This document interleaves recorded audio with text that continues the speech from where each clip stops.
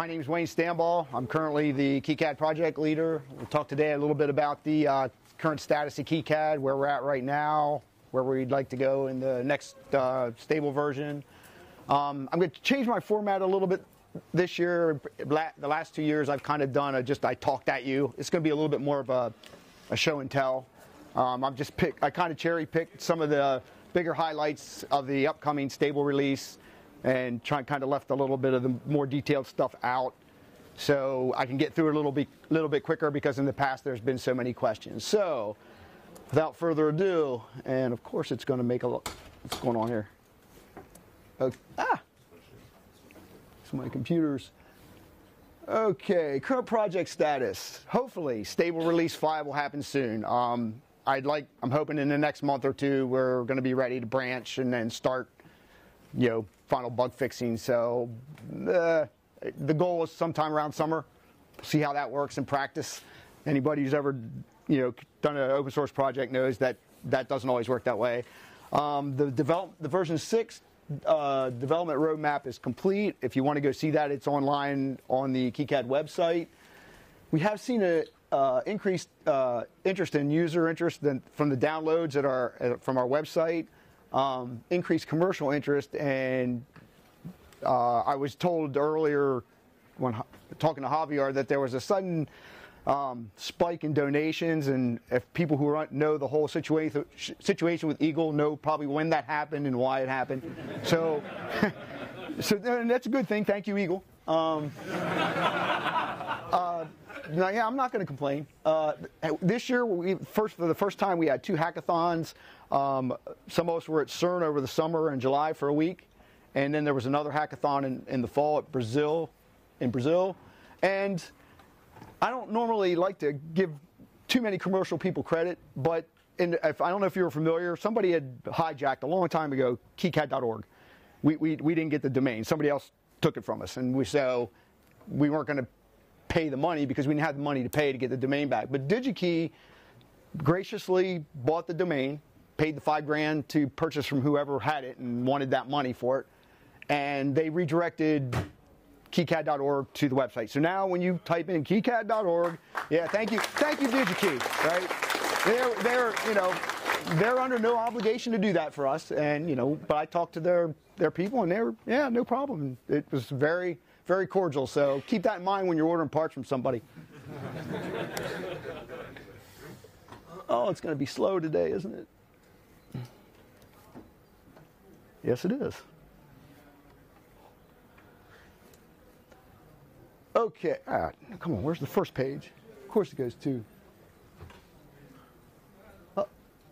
Okay, Stable 5 release, new, new features, the big stuff. Okay, I know technically the first one is not KiCad. But for all the people who develop on KiCad, that was probably more important than everything else we've done. We're now a now Git project.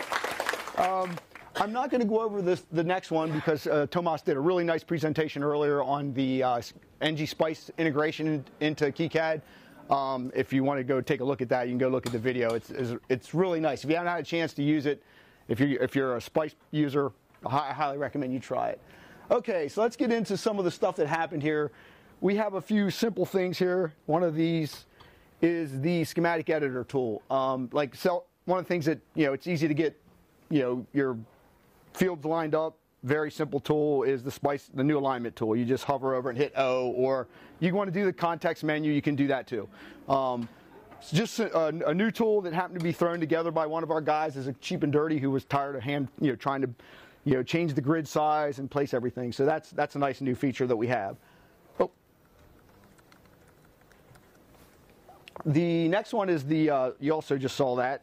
Um, you see there's a net highlight here in pink.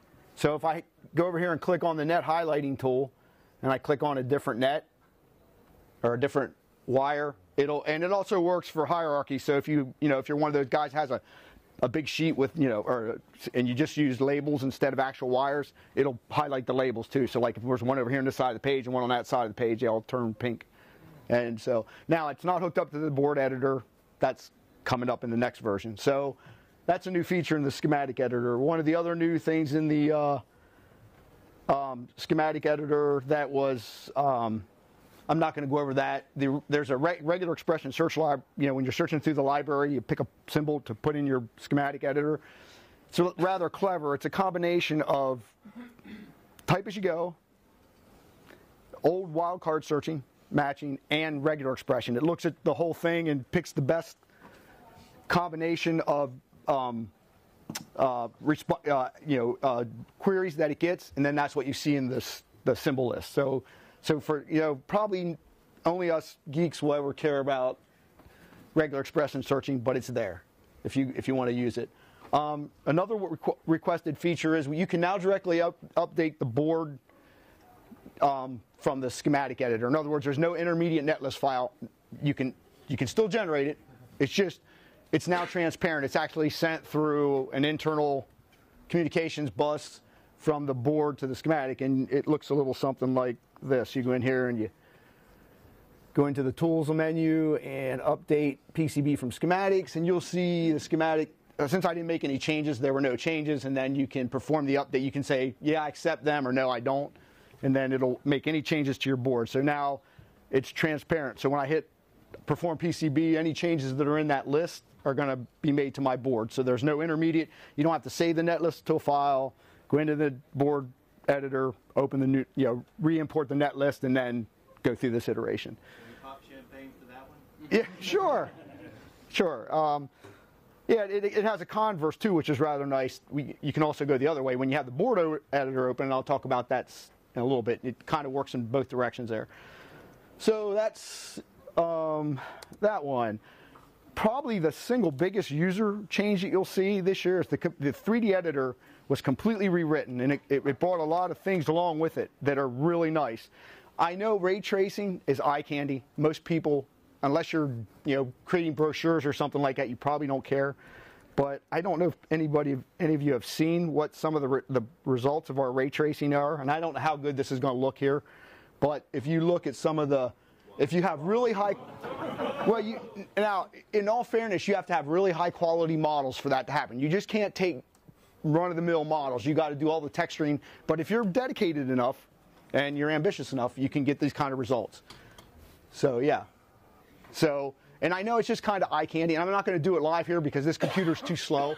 If you know anything about ray tracing, it, it, it, can take a while. So, so that's a nifty little uh, feature we got one the, the, the, other nice thing about the 3D viewer is it, it we used it brought in step.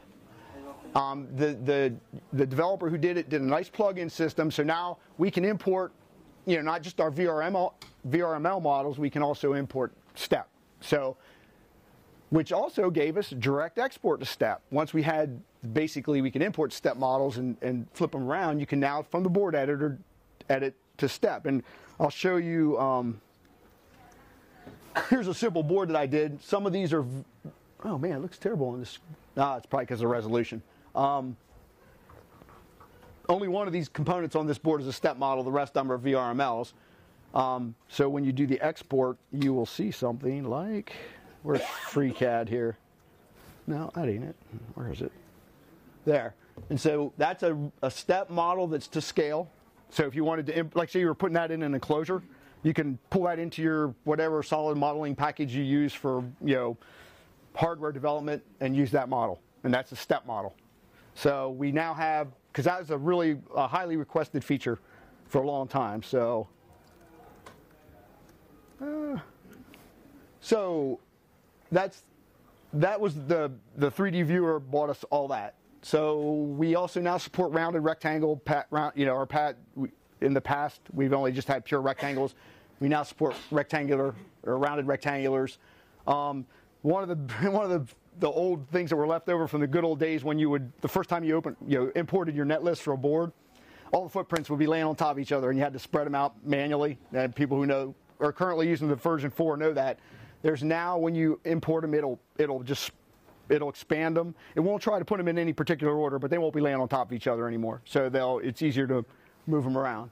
Um, I knew that one uh, the other thing is now that we can, if you, we can go the other direction. So if you go from, the, if you're in the schematic editor and you made some changes to your, or in the board editor and you made some changes to your um, schematic, you can come here and say, yeah, pull it. And it, I, see the exact same dialogue. It just came the other way. This time it went and queried the information in the schematic editor and said, okay, what do I need to make change in the board? What edits have I made? And that's the, uh, so it's bidirectional, which is rather, which is convenient for users. So didn't even add components that will show up in the schematic.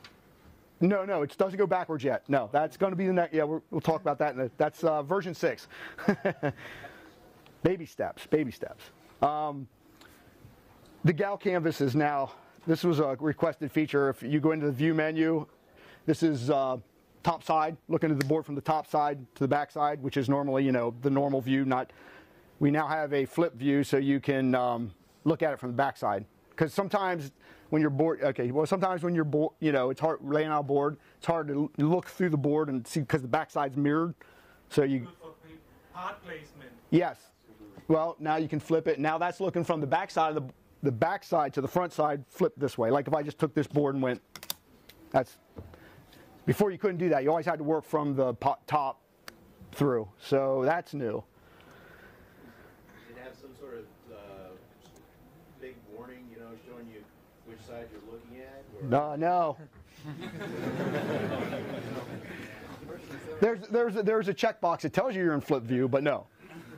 Um, I, this computer doesn't show that very well, but that we put there's anti anti-aliasing support for the OpenGL canvas. So like when you see the um, the net names on the traces, they're they're just smoother looking now. It's the, the text the text is rendered with uh, if your you know your graphics card supports it. We now have uh, uh, anti-aliasing support. Gerber X2 extensions. Gerber's desperately trying to stay relevant. I don't know how familiar you are with them, but you can embed things like to stack up, you know, your layer stacks in right in your Gerber files now. They're we are, as far as I know, I don't know if anybody else has even done it, because uh, Jean-Pierre Charras, the founder, the original founder of the project, he has a close working relationship with UCAMCO, and I think we're the first project to offer X2 support directly. And now the, pe- the push and shove router now in the past, it, like when you were shoving stuff around, sometimes you, you, didn't, get the clearance around your traces. So if for some reason you couldn't route something through because you were you, you, you were, you were um, violating your clearances, there, you actually see the clearance now on the push and shove router. The legacy always had that. You could see where the the um, the clearance was. So that's the new features. Okay, it's going to be slow. Come on. What's it doing? Okay, some improvements. I'm going to not go over too many of these. We got some new bitmaps in the launcher. Um, the schematic editor configuration is now a unified tab-oriented dialog. It's cleaned up. We used to have like three or four different ways, like color settings. They're on a single dialog now. It's much cleaner.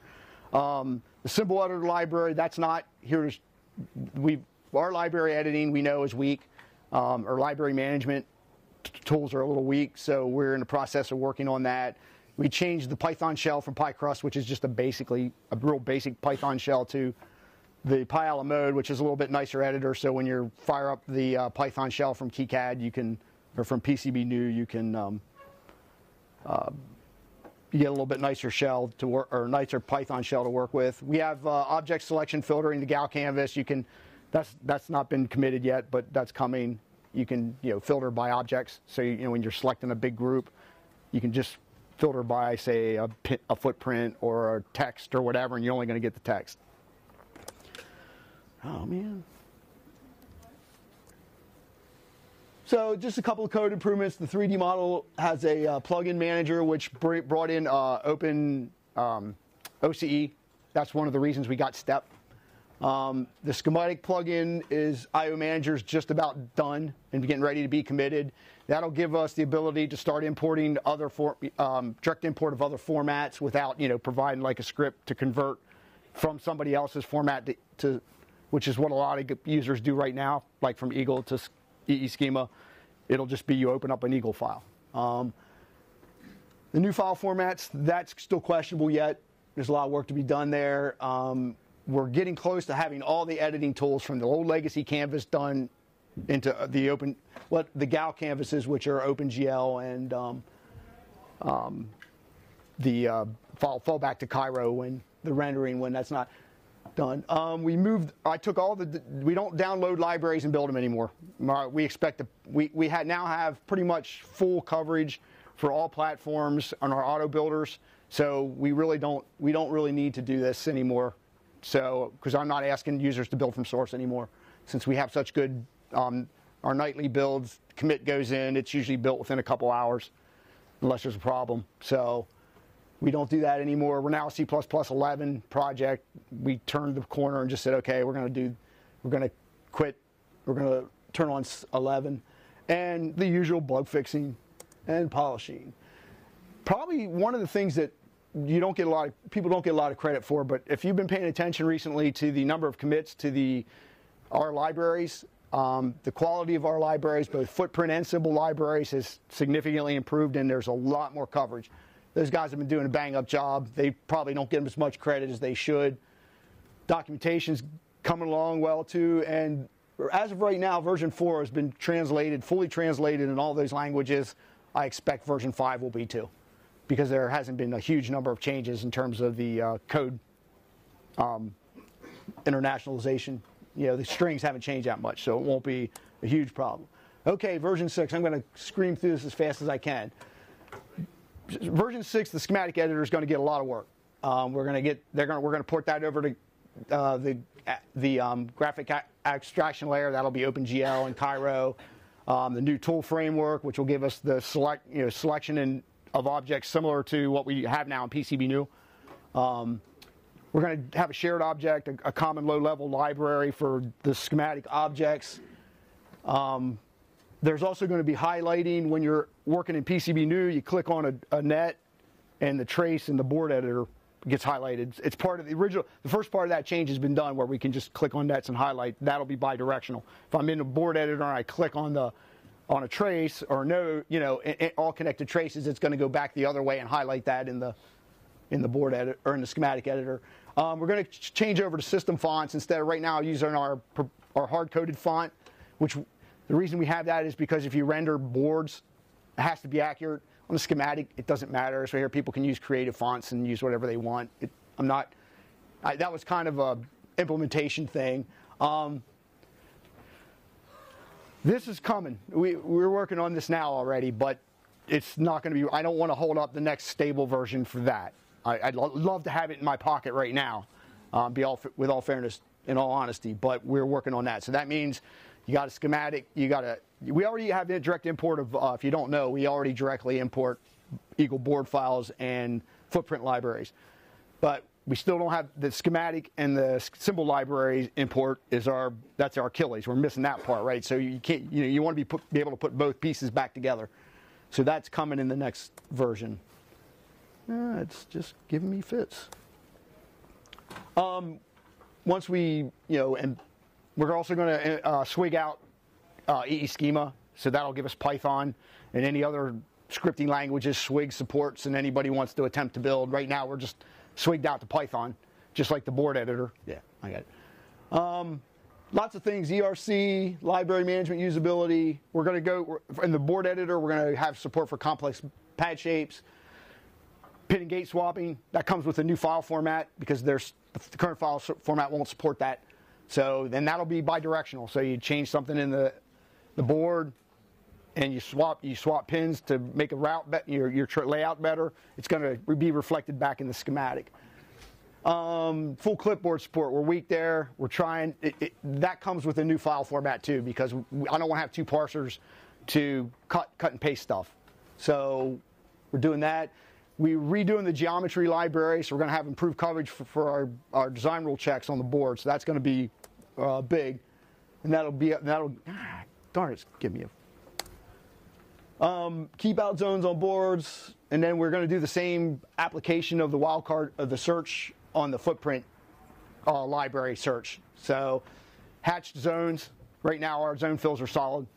Um, externally linked objects, and that comes with the group, so you can like group an, a part of the, the board layout and duplicate it multiple times with the external reference. You make the change to one, and all the, I think it's called snippets in some of the other EDA packages.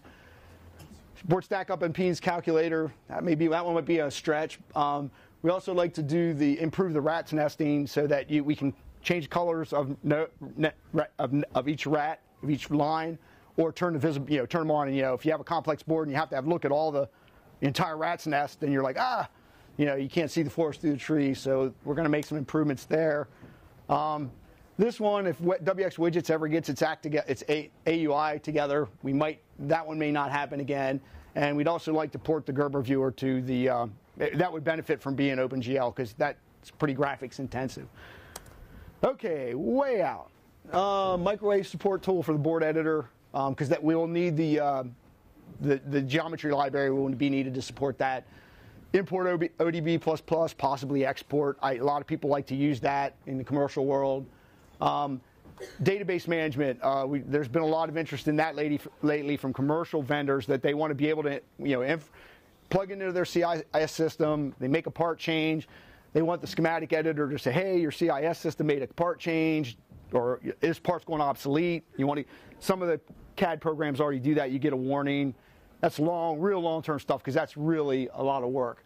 Um, uh, move to. I want to go to plugins for everything. So eventually, if we can use competing technology for things like auto placers, auto routers, routing tools. We could have specialized routing tools where maybe I have a microwave routing tool specifically for routing microwaves and that you don't use the normal because it wouldn't make sense to use that in a microwave application. Um, unit testing, we, we have some work to do there. Um, and integrate uh, automatic purchasing. Uh, I've actually been, one of the things the guy at DigiKey was interested in was donating time for obvious reasons. I'm not look. I'm not naive. I know what he, where he was going, but I, you know, hey, I told him as long as the code meets our standards, and, and it will have to be abstract. Because I told him I was like, no, it's not going to be proprietary. It's going to be abstract. And so if other vendors want to build on top of that, that you know, that's my, you know, as the project leader, I have to make those decisions, and that that's my decision. So until I'm not project leader anymore. So and that and we actually had quite a few people that like that ID. Click on it, your it generates a bill of materials, goes out in order. Say I want 20 sets of parts for this board, and boom, you know, goes to DigiKey or Farnell or whoever your vendor du jour is, and places an order. You give them your credit card number, and you got parts in the ma- parts in the mail. Okay, I want to thank just a quick shout out. Thanks all the developers who give their time and talent. It's it's takes a lot of work. KiCad's a big project, really big project. People underestimate exactly how big it is. Um, uh, thank, thank you everybody who's interested in KiCad and for using KiCad. I hope you know we can continue to support whatever you're doing. We're, you know, I know the pace of development's never as fast as anybody wants. It's not as fast as I would like, but we have manpower. You know, we're like any other open source project. There's more to do than there's people to do it. And I want to give a special shout out to Javier and uh, CERN for their support because they make, they make this possible. This dev room, and they've contributed a lot to KiCad, and um, we owe them a big, uh, big, a great deal of thanks. So thank you everybody again for coming.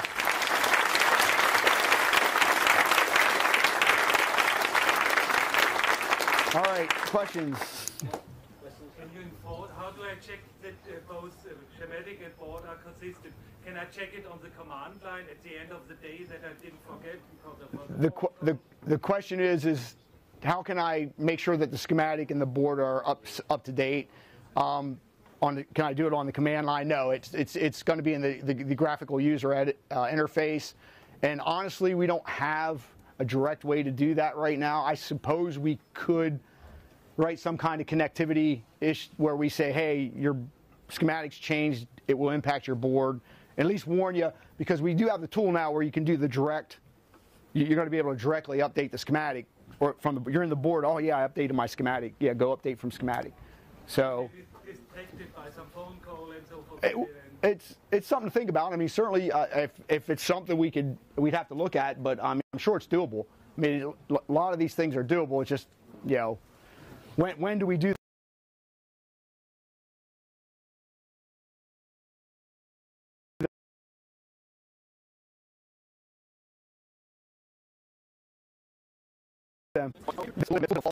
we In, yes, in the schematic editor, because we haven't scripted, we haven't swigged it out yet.